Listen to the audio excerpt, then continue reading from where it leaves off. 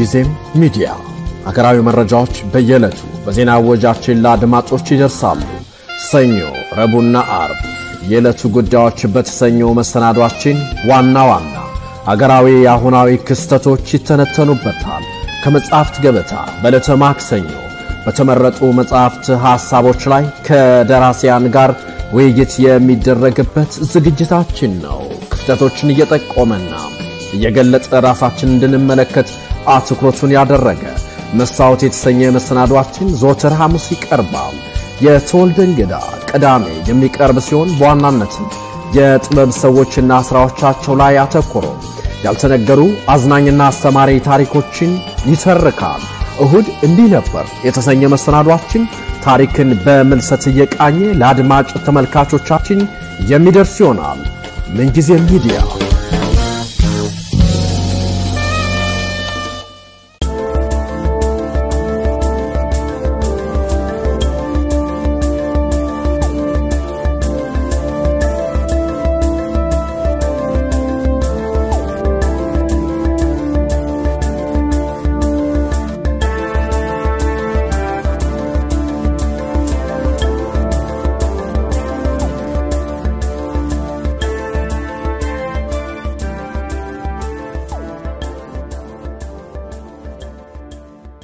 ሰላም ጤና ይስጥልኝ። ከምንጊዜ ሚዲያ የዕለቱን ዜናዎች ይዘን ቀርበናል። በቅድሚያም ዓለም አቀፍ የሬዲዮ ቀን ሬዲዮና ታማኒነት በሚል መሪ ቃል በዓለም አቀፍ ደረጃ ለ11ኛ ጊዜ በኢትዮጵያ ደግሞ ለሶስተኛ ጊዜ በመከበር ላይ በመሆኑ እንኳን አደረሳችሁ እያልን ወደ አርዕስተ ዜናዎቹ አልፋለሁ። የራዲዮ ቀን በዓለም አቀፍ ደረጃ ለ11ኛ በኢትዮጵያ ደግሞ ለሶስተኛ ጊዜ እየተከበረ ነው።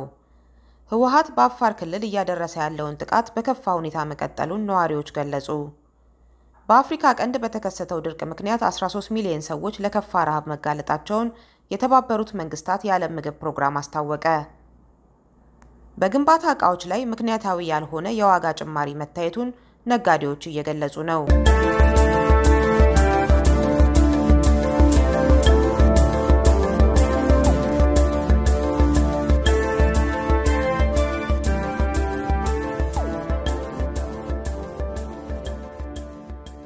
የራዲዮ ቀን በዓለም አቀፍ ደረጃ ለ11ኛ በኢትዮጵያ ደግሞ ለሶስተኛ ጊዜ እየተከበረ ነው።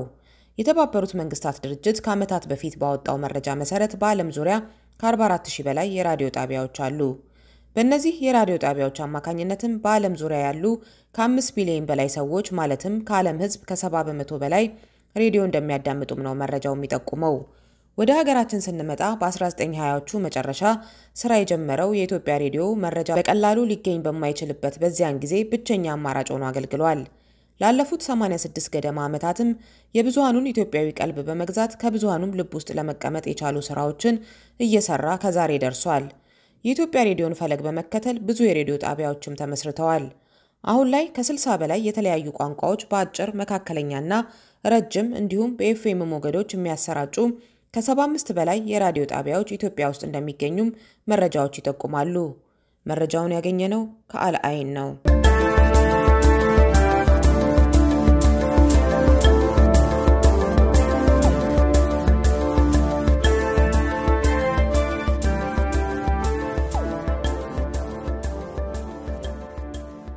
ህወሓት በአፋር ክልል እያደረሰ ያለውን ጥቃት በከፋ ሁኔታ መቀጠሉን ነዋሪዎች ገለጹ።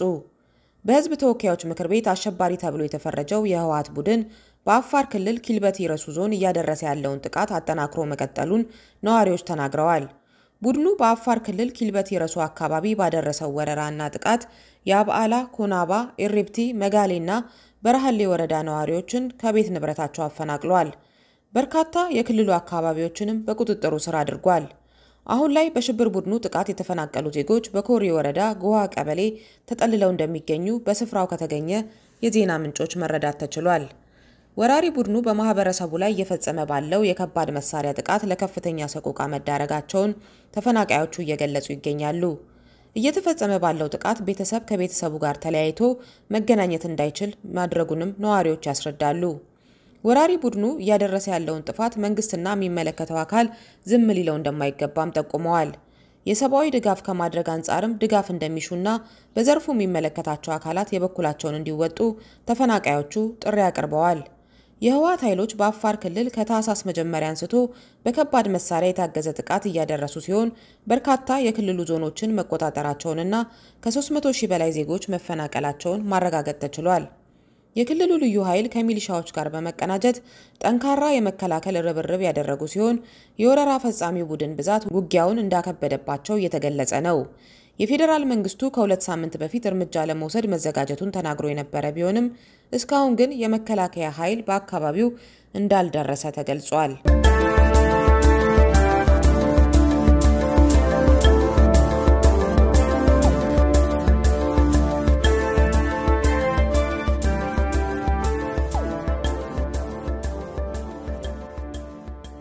በአፍሪካ ቀንድ በተከሰተው ድርቅ ምክንያት 13 ሚሊዮን ሰዎች ለከፋ ረሃብ መጋለጣቸውን የተባበሩት መንግስታት የዓለም ምግብ ፕሮግራም አስታወቀ። በድርቅ ምክንያት ምርት ማነስን ተከትሎ በምግብ እጥረት በርካታ ቤተሰቦች እንዲፈናቀሉ ምክንያት ሆኗል ያለው የዓለም ምግብ ፕሮግራም ሰብአዊ ቀውስን ለመከላከል አፋጣኝ እርዳታ ያስፈልጋል ብሏል። በአፍሪካ ቀንድ ባጋጠመው ሶስት ተከታታይ የዝናብ ወቅቶች መጨናገፍ በተከሰተ ድርቅ በርካታ እንስሳት ሞተዋል፣ እንዲሁም ሰብሎች ወድመዋል ብሏል ተቋሙ። በኢትዮጵያ በሶማሊያና በኬንያ 13 ሚሊዮን ነዋሪዎች ለረሃብ ተዳርገዋል። የምግብ ዋጋ በከፍተኛ ሁኔታ ማሻቀብና የሚሰበሰብ ምርት አናሳ መሆን ነዋሪዎች ላይ ምግብ ለማግኘት ከፍተኛ ጫና አሳድሮባቸዋል። አፋጣኝ እርዳታ ከሌለ ሰብአዊ ቀውስ ማስቀረት አይቻልም ሲል የዓለም ምግብ ፕሮግራም ተናግሯል። ለዚህ ድርቅ ምላሽ ለመስጠት ድርጅቱ 327 ሚሊዮን ድጋፍ ሚሊዮን ዶላር ድጋፍ የጠየቀ ሲሆን ይህም በአጭር ጊዜ ውስጥ የምግብና የቁሳቁስ ድጋፎችን ለማቅረብ ያስችላል ብሏል። ለረጅም ጊዜም አነስተኛ ዝናብና ድርቅ በሚከሰትባቸው በአርሶ አደር ማህበረሰቦች መካከል የመቋቋም አቅምን ለመጨመር እንዲያስችል ድጋፍ እንደሚያስገኝለትም ገልጿል። በአፋር፣ በኦሮሚያ፣ በደቡብ ብሔር ብሔረሰቦችና ሕዝቦች እንዲሁም በሶማሌ ክልሎች የከፋ ድርቅ በማጋጠሙ ሚሊዮኖች ለችግር መጋለጣቸውን ዩኒሴፍ ከሰሞኑ መግለጹ የሚታወስ ነው።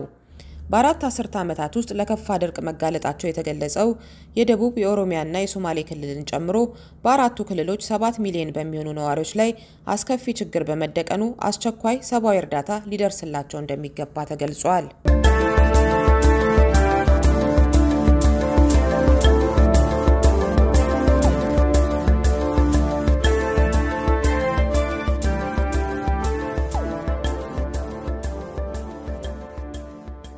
በግንባታ ዕቃዎች ላይ ምክንያታዊ ያልሆነ የዋጋ ጭማሪ መታየቱን ነጋዴዎቹ እየገለጹ ነው። በተለይ በቤት ክዳን ቆርቆሮና በሚስማር ምርቶች ላይ በሁለት ሳምንታት ውስጥ ከፍተኛ የዋጋ ጭማሪ ታይቷል። ለሪፖርተር ጋዜጣ መረጃ የሰጡ ነጋዴዎች በቆርቆሮ ምርት ላይ ከ150 ብር በላይ ጭማሪ መታየቱንና በአንድ ሳምንት ውስጥ ከነበረበት 250 ብር ወደ 400 ብር ከፍ ማለቱን አስረድተዋል። ከዚህ በፊት 500 ብር የነበረው galvanized የቤት ክዳን ቆርቆሮ በአሁኑ ወቅት ከ1000 ብር በላይ እየተሸጠ እንደሚገኝም ገልጸዋል።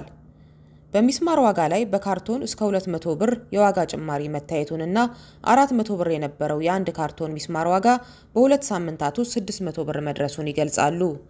በየቀኑ የዋጋ ጭማሪ እያሳየ እንደሚገኝና እንደ ቱቦላሬና አርማታ ብረት ያሉ የግንባታ ምርቶች ከፍተኛ ጭማሪ ማሳየታቸውም ተገልጿል። ከፍተኛ እጥረት እንዳለበት የሚታይበት የሲሚንቶ ምርትም በየጊዜው ጭማሪ እያሳየ ነው። ስለ ጉዳዩ የተጠየቁት ነጋዴዎች የአንድ ኩንታል ሲሚንቶ ዋጋ እስከ 720 ብር መድረሱንና በአንድ ወር ውስጥም ከ40 በመቶ በላይ ጭማሪ ማሳየቱን ገልጸዋል። በምርቶቹ ላይ ያለው ዋጋ እንደ ሌሎች ቁሳቁሶች መጠነኛ ጭማሪ እየታየ የመጣ ቢሆንም ካለፉት ሶስት ወራት ወዲህ ያለው የዋጋ ጭማሪ ግን ከፍተኛ እንደሆነና የጭማሪው ምክንያት ምን እንደሆነ ለማወቅ እንዳልቻሉ ነጋዴዎቹ ተናግረዋል። በተያያዘ ዜና የነዳጅ ማደያዎች አካባቢ የሚታዩ ረጃጅም የመኪኖች ሰልፎች ከሰሞኑ ምን ተፈጥሯል የሚል ጥያቄን አጭረዋል። በአፋር ክልል እየተካሄደ ካለው ጦርነት ጋር ያያያዙትም ነበሩ። እጥረት ተከስቶ እንደሆነ የተጠየቀው የኢትዮጵያ ነዳጅ አቅራቢ ድርጅት ምንም የተለየ ነገር አለመፈጠሩን ጠቅሶ የመኪኖቹ ሰልፍ ለድርጅቱ ድንገተኛ እንደሆነበት ገልጿል።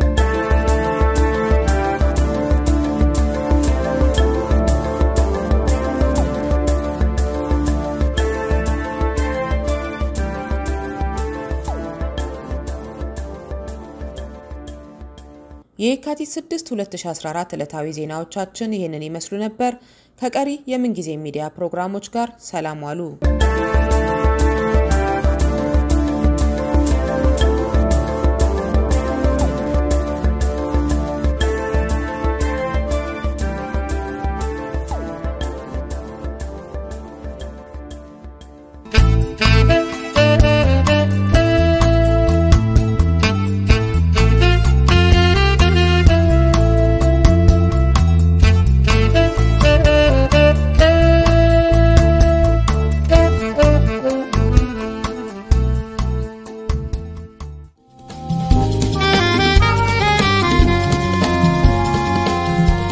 ምንጊዜም ሚዲያ ሀገራዊ መረጃዎች በየዕለቱ በዜና ወጃችን ለአድማጮች ይደርሳሉ።